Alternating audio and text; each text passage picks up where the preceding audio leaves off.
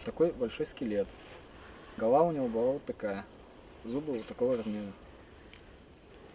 Когда Саша нашел в лесу две загадочные мумии, одну поменьше, другую побольше, подумал, что в окрестностях Кослей поселилась стая очень странных существ.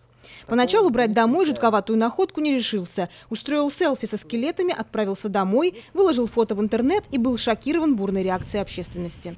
Одни писали, что это труп кошки, другие настаивали – мертвый детеныш динозавра или чупакабра. Тогда Саша решил вернуться за артефактом, но к его приходу скелет большой твари исчез. Одна лежала вот рядышком прямо, а вторая в этом. У нее ноги в разные стороны были и голова так на бок. У большой или у маленькой? большой. А маленькая лежала скрючена вся. Хозяин мистической находки захотел докопаться до сути и выяснить, кому принадлежат кости. Мумию животного забрал домой для расследования. Что там такое? Скелет нашел. Что за скелет? Похоже на чупакабу. Да? Нифига. Фу.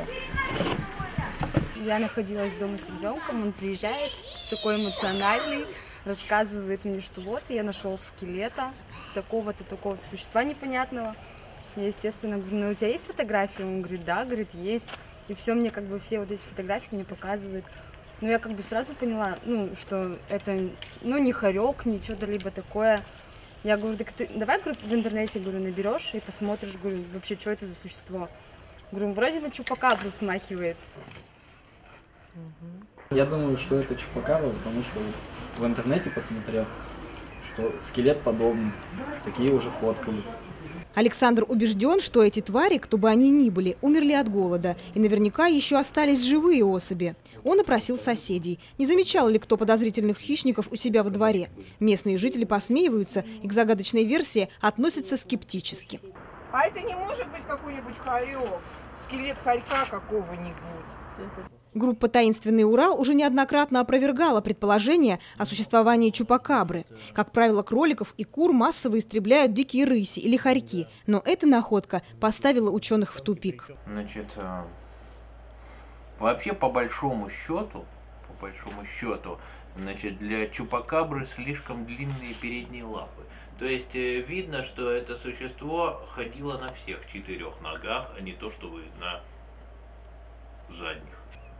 Мех так вообще кошачий какой-то. Вот. Но ничего здесь аномального такого, сенсационного лично я не вижу вообще. Для хорька крупновато немножко. Вот, для хорька, конечно, значит, что там следующее? Ну, куница. Вот.